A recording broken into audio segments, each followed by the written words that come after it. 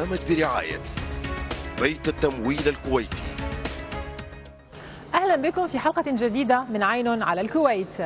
نمت الأرباح الصافية للبنوك الكويتية لعام 2014 بمعدلات متفاوتة. فبينما نمت أرباح البنك الوطني وبيت التمويل الكويتي وبنك الخليج والبنك الأهلي المتحد بنحو 10% نمت أرباح البنك التجاري وبنك بوبيان بأكثر من 100% البنك الوطني حقق أكبر أرباح لعام 2014 حيث بلغت 261 مليون دينار وبلغت أرباح الربع الرابع 57.9 مليون دينار مع التوصية بتوزيع 30 فلس نقدي و5% أسهم منحة التوقعات ل 2015 إن شاء الله إنه راح يصير نمو نمو أكثر.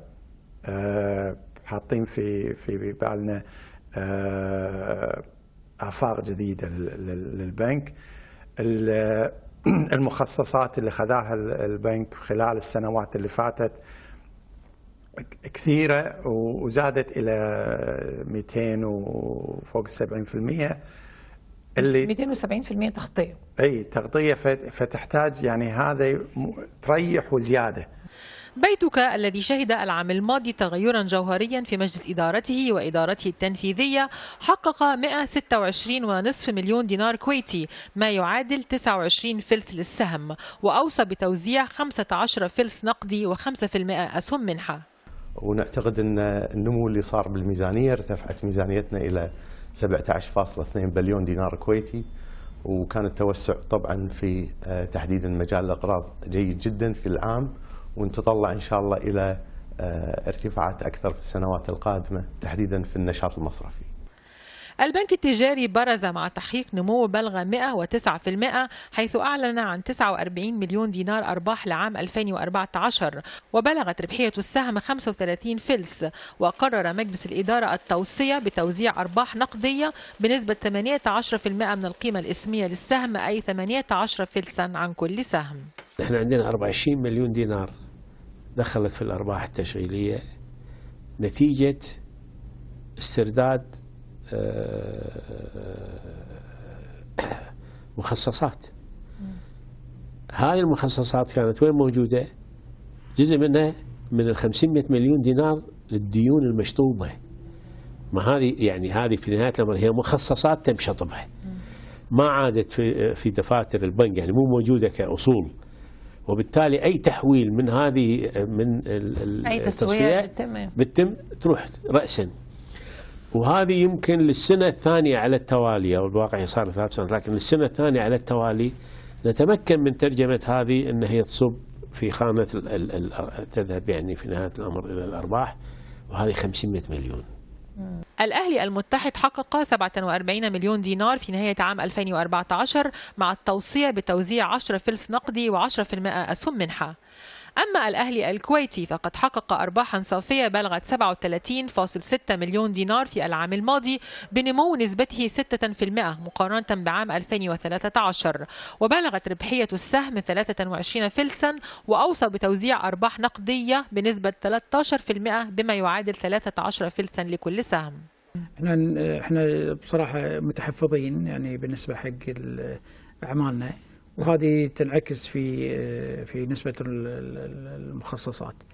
يعني وطبعا هذا لا لا يحد من قدرة البنك على النمو. يعني إحنا لدينا قاعدة رأسمالية قوية. معيار كفاية رأس المال عالي عندكم. كفاية رأس المال تعتبر من أعلى المعدلات. يعني بالنسبة حق البنوك الكويتية في حدود فوق 23 23.6 حول ال 24% وطبعا هاي تعطينا دفعة قوية بالنسبة حق تطبيقات بازل ثلاثة أعتقد البنك الأهلي يعني وأنا في في في نسبة معدل كفاية رأس المال هذه القوية ما نحتاج إلى أي زيادة حق رأس المال خلال الفترة اللي جاية.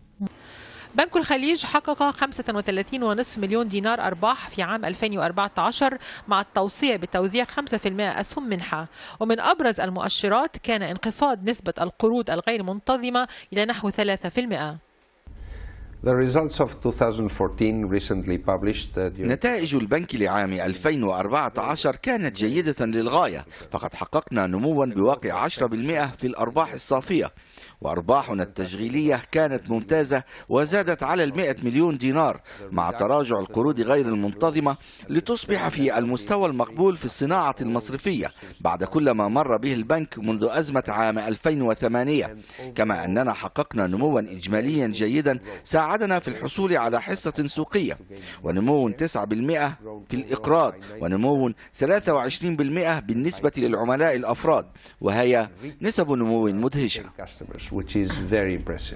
أما بنك بوبيان فقد ضاعف أرباحه في عام 2014 لتصل إلى 28 مليون دينار مع التوصية بتوزيع 5 فلس نقدي و5% أسهم منحة وقد ارتفعت إجمالي قيمة حقوق الملكية في البنك ليصل إلى 296 مليون دينار كويتي مقارنة مع 264 مليون دينار في عام 2013 إلى جانب ارتفاع محفظة التمويل إلى 1.8 مليار دينار كويتي بنسبة نمو 22 إلى جانب الارتفاع المتواصل لقاعدة عملاء البنك. كانت سنة استثنائية بالنسبة لنا. آه، على جميع الأصعدة. جميع الأرقام كانت زينة. آه، زدنا في آه، قطاع التمويل ب 22% وزدنا بدايع العملاء تقريبا 26% ومع ذلك ما زلنا حافظنا على معدل كفاية رأس المال ب 18% وهذا كان يعني توازن بالنسبة لنا.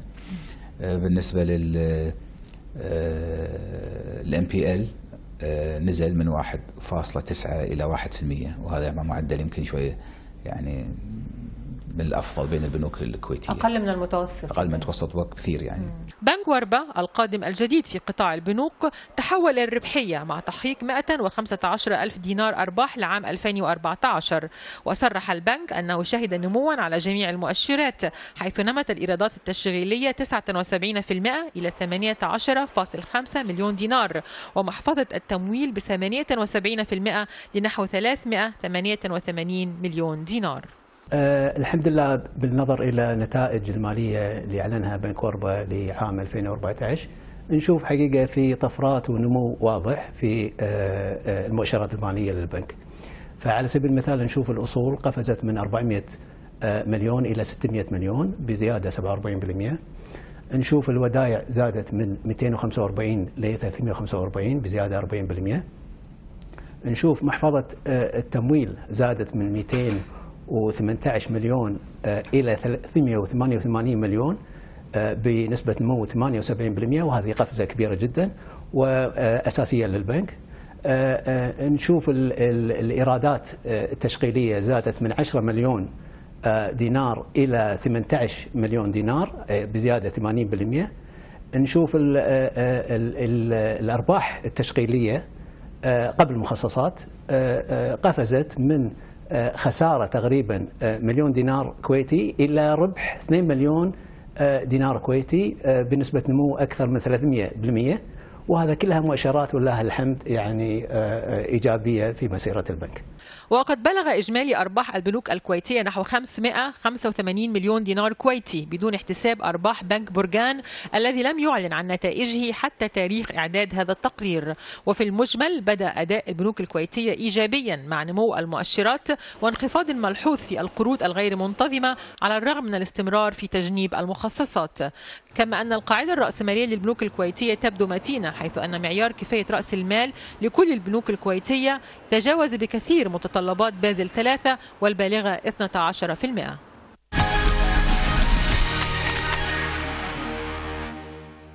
ارتفعت أسعار النفط بعض الشيء خلال الأيام الماضية ولكنه ما زال من المبكر محاولة التكهن بتوجهات أسعار النفط.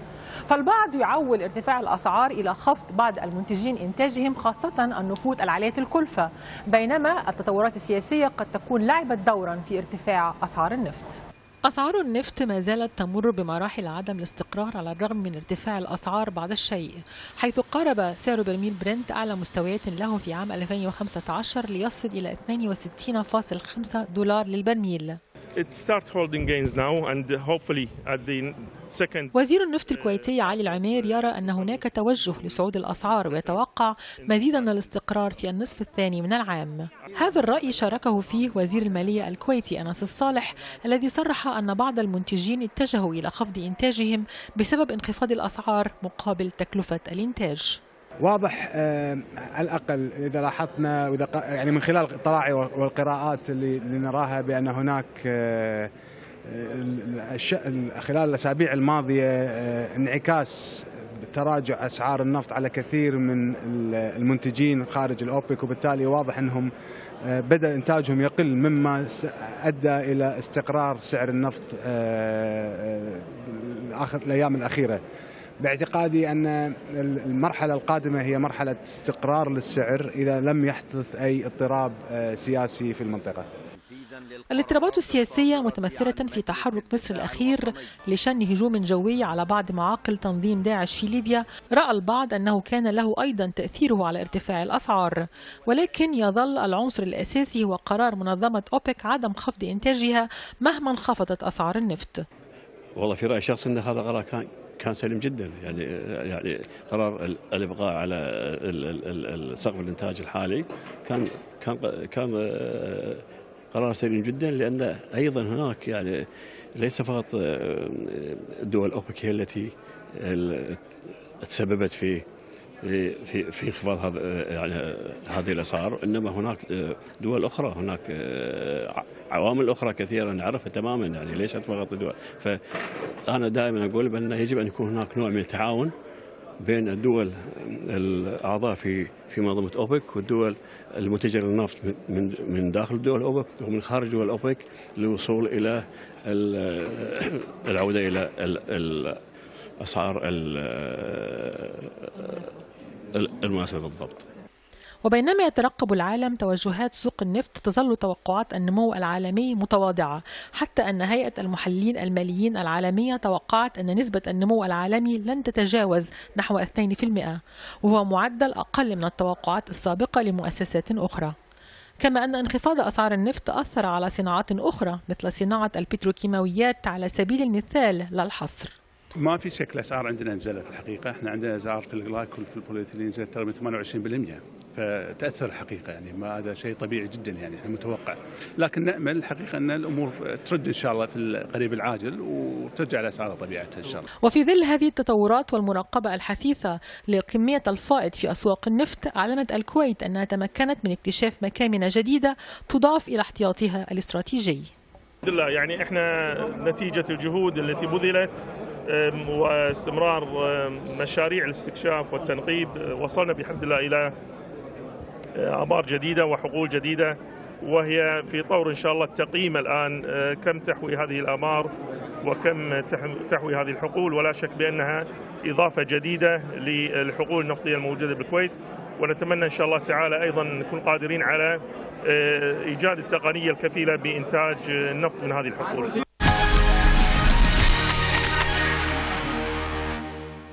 بعد الفاصل أجواء جميلة في مسابقة السيارات الكلاسيكية Concours d'Elegance. كونوا معنا.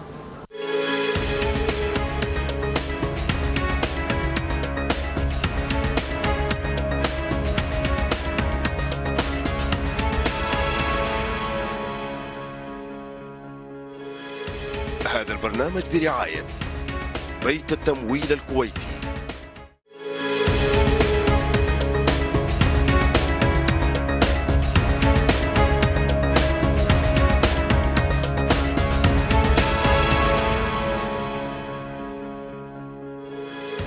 هذا البرنامج برعاية بيت التمويل الكويتي. أهلا بكم. شهدت الكويت مؤتمرا حول الأمن والسلامة والبيئة نظمته مؤسسة البترول الكويتية. وكانت الكويت قد وضعت استراتيجية للوصول إلى المعايير العالمية بحلول عام 2020 موضوع الأمن والسلامة والبيئة كان محور المؤتمر العالمي الذي عقدته مؤسسة البترول الكويتية والتي أبرزت اهتمام الكويت بالوصول إلى المعايير العالمية في هذا المجال. ونحن آه، كتعاون بين السلطتين أنجزنا قانون مهم وهو قانون حماية البيئة الذي بحمد الله أنجز والآن تعد لوائح تنفيذية ولذلك نهتم بمثل هذه المؤتمرات نتمنى المشاركة فيها كل توفيق ونجاح. يعني إحنا عندنا مبدأ عام للشركة إن إذا ما تضبط القضايا هذه وتكون بالأداء الأفضل تخسر حتى اللايسن مالك يعني. ولذلك أصبحت هي قضية حياة وموت. وتفتخر الكويت بأنها تمكنت خلال خمس سنوات أن تخفض من مستوى حرق الغازات من 17.1% إلى 1.25% كما أنها تعكف حاليا على تنفيذ مشروع الوقود البيئي بكلفة تصل إلى 4.3 مليار دينار. مشروع الوقود البيئي يعتبر من يعني أكبر مشروع على مستوى دولة الكويت يعتبر mega project. آه، ويعني الآن آه، آخر progress أو أو تقدم اللي شفناه إن الحمد لله الأمور ماشية حسب الخطط. آه، 18% وصلنا الآن من التطبيق أما في مجال التدريب فإن الكويت تنفق حاليا نحو 150 مليون دولار سنويا وهو رقم أقل بكثير مما تنفقه على سبيل المثال المملكة العربية السعودية التي تنفق 2 مليار و650 مليون دولار سنويا. هي أكثر جهة تصرف في السنة. أكثر جهة. بس بعدنا نحن آه، مقارنة بدول العالم ولا شيء. يعني أمريكا لوحدها بتصرف 152 مليار دولار. أنا بآخر مؤتمر شاركت فيه في في لندن. أنا دعيت أنه لو يخصص آه، آه، كل شركة كان قطاع خاص آه، أي قطاع آخر يخصصوا 2.5% ما 2.5% حتى نزلت بالرقم قلت ربع بالمية تستقطع من آه، ميزانيات الشركات تخصص للتدريب إذا بتلاحظي أنه دايما في عنا شكوى في الموارد البشرية العربية. أنه والله- غير مدربة. لا غير كفوءة منضل نقول غير كفوءة غير كفوءة طب بحاول أكون مهذبة يعني. إيه إيه. إنه طب يا جماعة إنه غير كفوءه طب شو السبب؟ ما أنتم مو راضيين تصرفوا عليهم.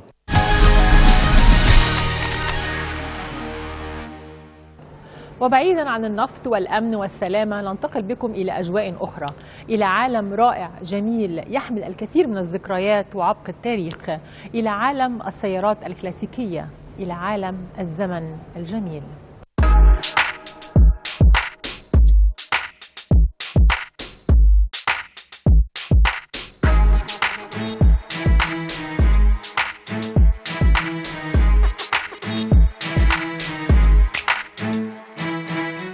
أخرى تستضيف الكويت مسابقة السيارات الكلاسيكية Concours d'Elegance والذي جمع نحو 100 سيارة قديمة تحمل معها عبق التاريخ وشغفا عميقا يكاد أن يصل إلى العشق. المجتمع ال- ال- ال- الخليجي يستفيد من هذه الفعاليات وفي زيادة المعرفة في هذا المنتج اللي اليوم كل الناس ما تستغنى عنه. السيارة أصبحت آه، هي شيء رئيسي لكل الناس. يعني آه، كان في الس- في السابق كان الخيل اليوم السيارة هي اللي تشكل شخصية الإنسان. نحو 100 تحفة فنية أبهرت زوار معرض Concours d'Elegance ولكن ربما الشيء الأكثر إبهارا هو مدى شغف هواة تجميع هذه السيارات. فكل واحد منهم كان لديه قصة يحكيها عن معشوقته. والله حلم. حلم يعني طويل جدا استمر أكثر من 35 سنة إني أمتلك السيارة هذه. لأن لأن هذه ال ultimate American cars في في خاصة في فترة الخمسينات. أفضل ما انتج في الخمسينات ال 59 آه، كاتبك طبعا إيه اللي بيميزها يعني؟ يا ستي الفضل. لو لو تفضلتي شفتي طبعا ال big fenders ال- الشكل آه، الأجنحة الخلفية جدا. ال bumpers كمية الكمية الهائلة من النيكل اللي تخلي السيارة ما شاء الله تشع لو نظرنا لها ما شاء الله. وزياده على ذلك هي convertible فاللي تسأليني أنت من أول ما اقتنعها أنا كنت أشوف الأفلام المصرية وأنا صغير. في, في ال fifties وال sixties عبد الحليم حافظ. فعبد الحليم رشدي أباضة مع شدية. يعني فهي هي سيارة يقتنيها اللي يحبها الحقيقة. This uh, Ferrari California Spider from 1960 is actually the icon. Uh, Ferrari made uh, 60, uh, 36 cars um, of this beautiful uh, icon, and it's a very looked after, very rare car. Uh, last weekend, one of these cars was sold in Retromobile. It was the ex car of Alain Delon, and um, it it was sold for 16.3 million. أنا فني عمليات جراحية. تمام يا. وأعشق السيارات من فترة طويلة. من يوم كنت صغير وأنا أحب السيارات. بس آه، النهارده بت- بتشارك في ال Concours d'Elegance بهذه السيارة الفورد موديل 1915 عندك سيارات تانية غيرها؟ الحمد لله عندي سيارات وأملك متحف تقريبا آه، 35 سيارة. احكي لنا عن هذه السيارة اللي انت اخترتها بالتحديد للمشاركة في ال Concours d'Elegance. هذه السيارة فورد موديل آه، 1915 T. آه، السيارة هذه من أفضل السيارات أنا أعشقها السيارة هذه حبيت إني أشارك فيها بال Concours الكويتي. وإلى جانب الهواية فإن هذه السيارات تعد أيضا استثمارا لمن يفهم فيها. فبعض الموديلات القديمة تم بيعها بأرقام خيالية. وأعلى رقم دفع في سيارة كلاسيكية كان العام الماضي وهو نحو 35 مليون دولار ثمنا لفيراري 250 GTO موديل عام 62 فقيمة السيارة يتدخل فيها عناصر كثيرة مثل الندرة والحالة وتاريخ السيارة. ال ال- ال 59 كونفرتبل أقل سيارة تقريبا حوالي 90 ألف دولار. أقل سيارة تجدها في في الماركت وترتفع إلى 300 ألف دولار.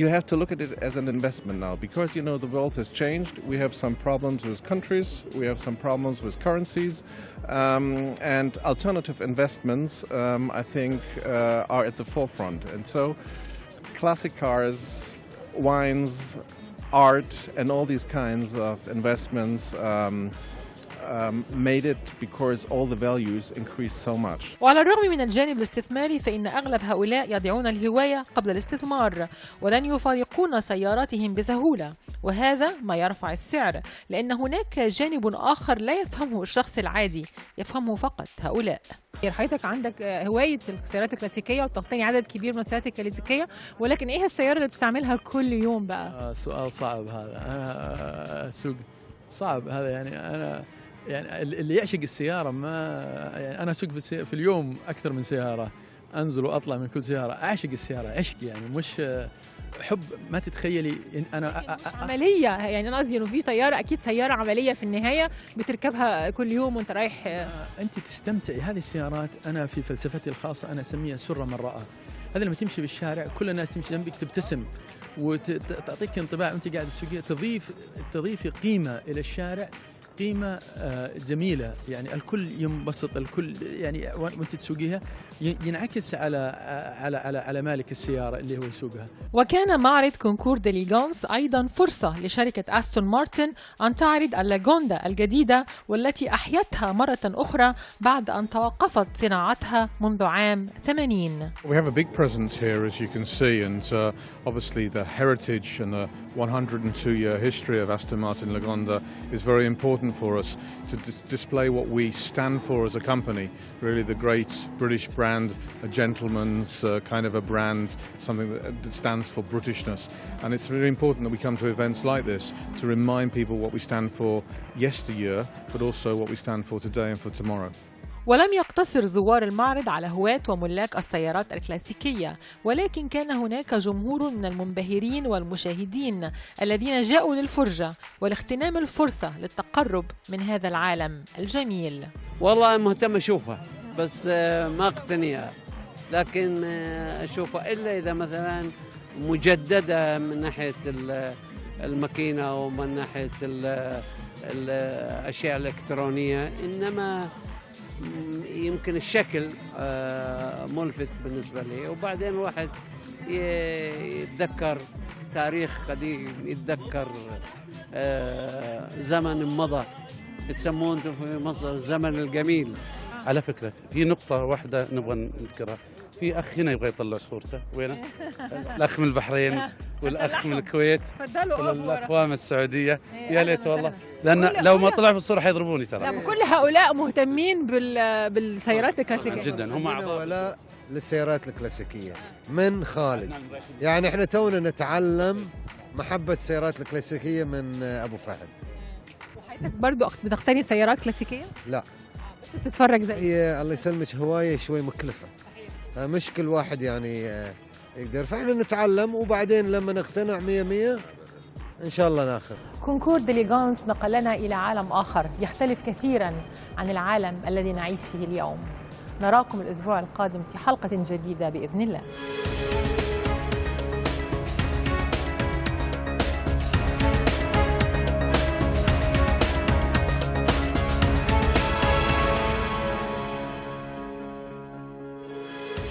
هذا البرنامج برعاية بيت التمويل الكويتي.